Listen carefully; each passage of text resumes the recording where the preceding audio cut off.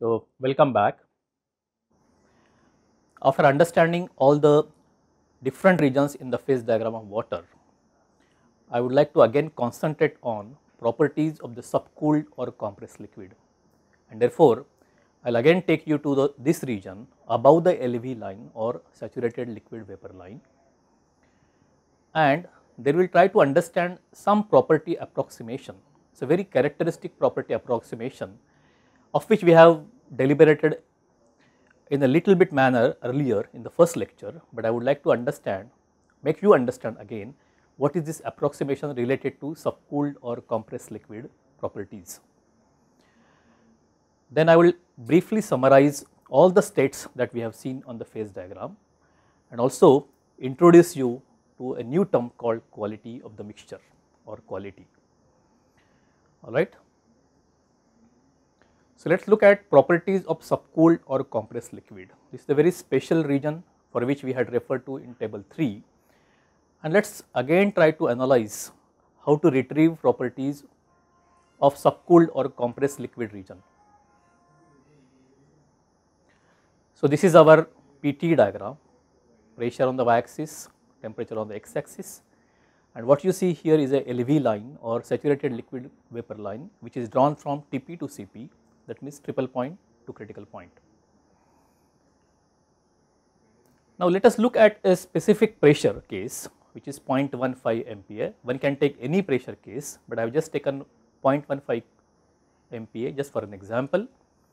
Corresponding to this, if I want to find out what is the Tsat value, I will just refer to table number 2 and get corresponding temperature value and this temperature value happens to be 111.349 alright. So, this could be any pressure corresponding to this pressure I have taken Tsat P which is 111.349 and I will just draw this line vertically because I would like to see the effect of various pressures on this line in the subcooled or compressed liquid region. This is the subcooled or compressed liquid region I am sure now everybody of you know.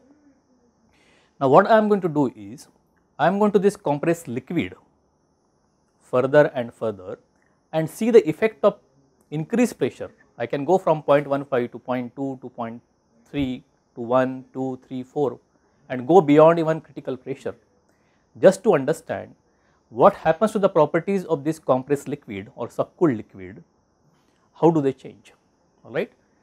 So, let us look at this first point which is on a LV line or a saturated point which is this is a PSAT corresponding to this what we have is a TSAT P. What are the properties that we look? We look at for different pressures we will try to look at specific volume, thermal energy, enthalpy and entropy and I would like to look at these properties or the property changes rather for different pressures in this subcooled or compressed liquid region. Alright, so first point is basically the saturation point for which I have got some values over here. Now I would like to show the table from which we have taken these values just for the benefit of those who have not seen the table so often just try to go to that table and have a look at that and let us try to see how did I get these values. So, I got a value at, at say 0.15 and then I will go to let us say 1 MPa also and let us try to get those property values from there just try to understand this and we will come back to this table again. Alright, so this is the table and this is 0.15 MPa. Corresponding to 0.15 MPa, we have got Tsat value as 111.349 which is what we had just seen. So, if I want to take the properties, this is table 3 which is therefore you have got a pressure on the top and corresponding values from 0 to 1000 degree centigrade. So, if I can bring your attention to this point, alright, it is the top point and the bottom point and these are the values we are taking for saturated vapor region, saturated liquid region. How will you identify this? We will see when we come back to the table again. So, this is my properties at 0.15 MPa and let us see I look at some other pressure 1 MPa maybe look at this this is 1 MPa corresponding to this what you have is I want to see the same pressure as I said that I want to increase the pressure keeping the temperature the same So, if I go back to 111 point, point some temperature 111 you can see that I may have to interpolate between these values 110 to 115. So, I may have to interpolate these properties in order to get all the properties at 111 degree centigrade alright.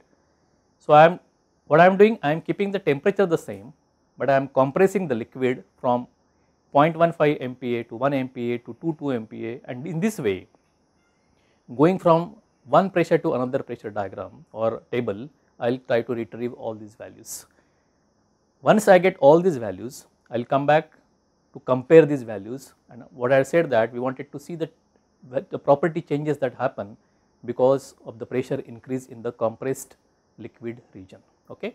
Let us come back to the table again. Right, we were at this point and you can see at 0.15 MPa I got these values which are given in red and these values which are given in blue. Can you identify from here which values are meant for gas and which values are meant for liquid?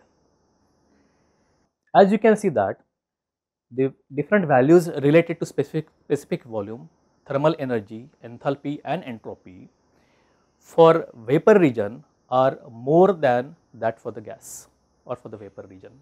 As you know the enthalpy is 2693 while the enthalpy for the liquid region will be 467 and we can see the difference between these two values actually is HFG, this is SFG, this is delta U or UFG this difference and this difference could be delta V or VFG alright. Now what we are concerned about is the liquid properties that means I will consider only this blue properties or the properties which are given in blue color alright. Coming back to our argument that now I would like to increase the pressure from 0.15 to further higher pressures and the next pressure therefore is could be 1 MPa and I had just shown you the table from where I can take those values by interpolation and I am putting up those values in this table. So, at 1 MPa now you can see that these values of specific volumes, thermal energy, enthalpy and entropy and if you if you actually see those values you can see there is hardly any change. For example, in the value of specific volume you can find that it has changed in 7th decimal point. There is hardly any change even in thermal energy, little bit change in enthalpy and very little change in entropy alright. So, 0.15 to 1 MPa you can see that changes are very very little maybe less than 1 percent. If I go further now compressing this liquid, I go now to compress to 5 MPa alright. So, these are the properties and again you see that the property changes are minimum in these cases, but in case of enthalpy, you can see now there is a little bit more increase in this property, maybe around 1 percent now, while for these cases again the property changes are minimum. If I go on further compressing this liquid to 10 MPa, I got still more properties.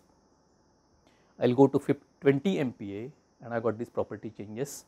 So, you can see that at 20 MPa again I have got now property changes that is happening in 1, 2, 3, 4, 5, 5th decimal place alright. Initially it was in 7th, then maybe in 6th decimal and now we have got property changes as far as specific volume is concerned, it is in the 5th decimal place. Well, U has changed from 466 to around 460 and just above 1 percent, while you can see that enthalpy has changed from 467 to 481 which is little bit more as compared to V, U and even S. S value has also changed from 1.43 to 1.41 which is not very much as such changes in these properties. Now, if I take the next pressure which is above the critical pressure, critical pressure as you know is 22 MPa. If I take the next property as 25 MPa, you can find that this changes now is in 5th decimal place here, alright. So, 5 has become 4 and 4 has become 3 now. Similarly, the values in U little bit still less. However, in enthalpy there is substantial change that way in comparison to other values while in entropy again the changes are not so much.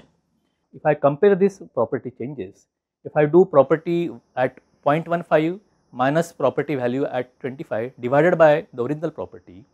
And if I just compute the percentage change that has happened over here in the last row, we can see that comparing these 25 properties at 25 MPa to the properties at 0.15 MPa for the subcooled region taking the liquid properties now, the percentage changes for V is hardly 1.21, percentage change for U is hardly 1.65, percentage change for H is minus 3.89 which is little bit more and percentage change in entropy is just 1.45. It means that even if I got if I got liquid compressed from 0.15 to 25, if you see the pressure ratio, this pressure ratio is of the order of 200. So, even if the pressure ratio has increased from 0.15 to 25 MPa, the property changes as far as specific volume, thermal energy and entropy are considered, these property values changes are very very small while there is some change and let us say significant change of minus 3.89 percent that has occurred as far as enthalpy is concerned. This is a very significant discussion that we are having as far as we are talking about subcooled or compressed liquid. The reason for this will be talked in the next snippet. Thank you very much.